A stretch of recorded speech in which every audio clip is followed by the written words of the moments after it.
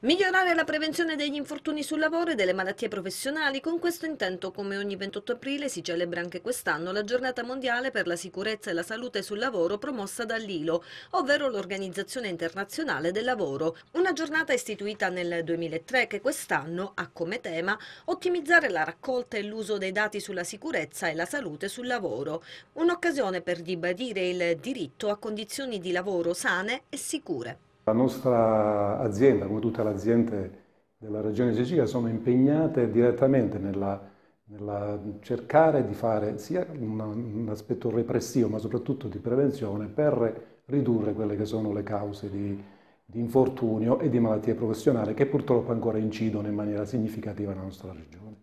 E a tale proposito l'assessorato della salute ha predisposto un piano di prevenzione che prevede delle, delle linee progettuali sia sull'edilizia sia sull'agricoltura, ma una delle novità che, eh, che, noi siamo felici di fare è quella della prevenzione dell'informazione che faremo in vari setting, in vari ambiti, eh, a partire dalla scuola, ma anche sui datori di lavoro e sui lavoratori stessi.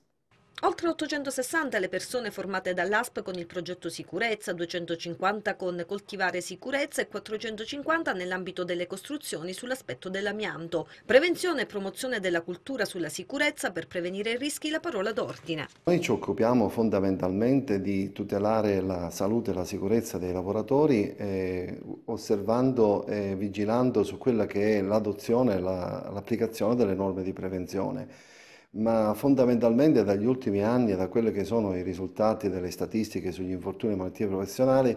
ci siamo resi conto, così come a livello nazionale, eh, è l'impostazione di curarsi molto più della eh, fare cultura della prevenzione. Cultura della prevenzione che eh, è stata attuata dal nostro servizio su iniziativa negli ultimi anni, ma anche su proposta dell'assessorato dell alla salute, eh, con progettualità che sono state utili a formare lavoratori, datori di lavoro come responsabili del servizio di prevenzione e protezione e tecnici che si occupano come azione di consulenza della prevenzione per la salute e la sicurezza di lavoro. Ma il nostro fiore all'occhiello al momento è quello proprio di eh, curarci di questa cultura eh, alla base della fonte culturale, che è quella della scuola. Eh, di questa attività noi a 360 gradi ci muoviamo sul territorio nell'azione di vigilanza, facendo anche azione informativa, ma eh, spesso creiamo degli incontri con eh, i tecnici, eh, abbiamo uno sportello informativo,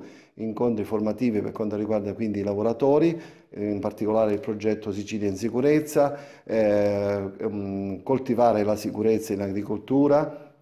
e tante altre iniziative che sono utili a migliorare questa cultura.